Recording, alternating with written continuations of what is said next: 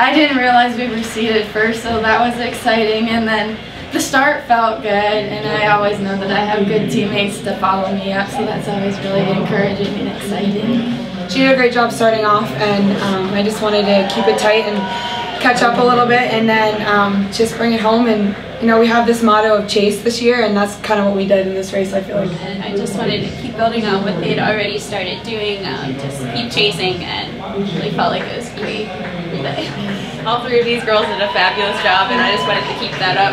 53 is such a fun event, and getting yeah. to swim it with three of my teammates is just a blast. And the whole team is cheering, and it's just so fun. To be honest, I feel like it's kind of indescribable. The team has such a close bond, and um, honestly, I've never seen another team with a bond as close as ours. It's what drives us for sure and we realized that we can't do this alone.